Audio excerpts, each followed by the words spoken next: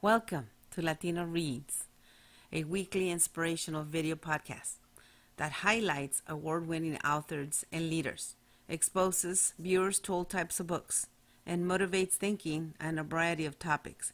Your host is Maria Elena Cortés. Disfrute. Enjoy. Grammy nominee Jose Luis Orozco was born in Mexico City. He is the second of 11 children. His father played the violin and his mother loved to sing. He grew fond of music at a very young age, learning many songs from his paternal grandmother.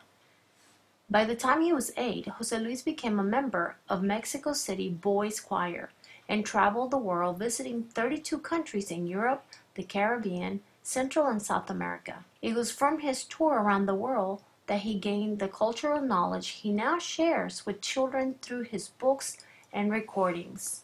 His body of work includes 16 albums, a DVD, and three award-winning songbooks.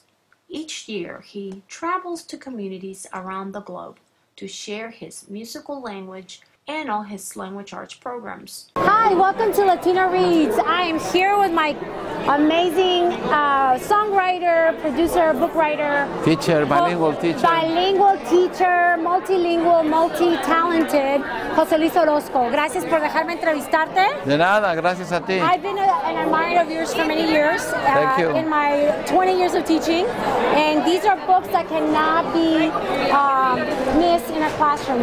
Diez Deditos was part of my, my educational career, so thank Great. you for doing what you've done.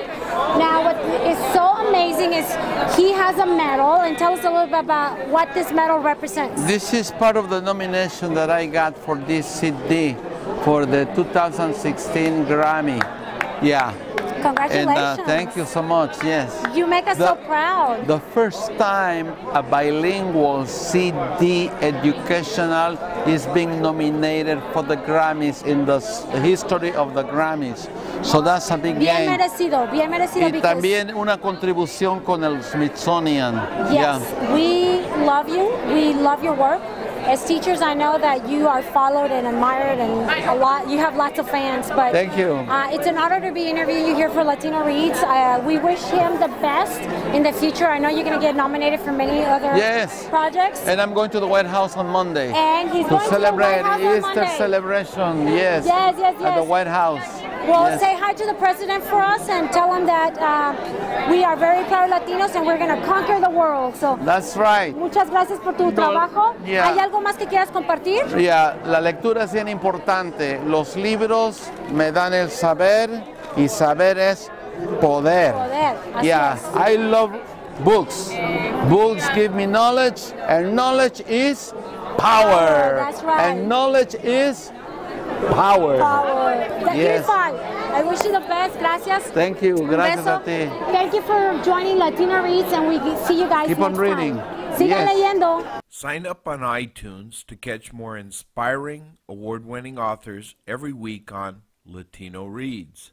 Latino 24 7 will have new shows for you shortly.